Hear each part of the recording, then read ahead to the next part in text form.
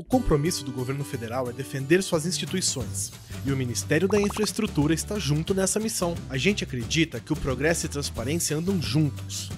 Por isso, a qualquer sinal de desvio ético, de conduta ou ato de corrupção, o nosso radar vai entrar em ação. Radar Anticorrupção, o programa de prevenção à corrupção do MINFRA. O novo programa será composto por quatro pilares. O primeiro pilar vai conectar o Ministério da Infraestrutura à Controladoria Geral, à Advocacia Geral da União, ao Ministério da Justiça e à Polícia Federal. Será formado um canal livre de troca de informação para combater a corrupção nos processos de seleção e em casos que configurem crimes ou irregularidades administrativas. O segundo pilar vai trazer mais transparência ao adotar critérios técnicos para a escolha de profissionais que sejam de fato qualificados para cada cargo.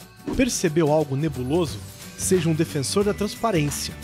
Nosso terceiro pilar vai estimular denúncias de corrupção na pasta, através dos nossos canais oficiais. O sigilo, claro, será sempre garantido.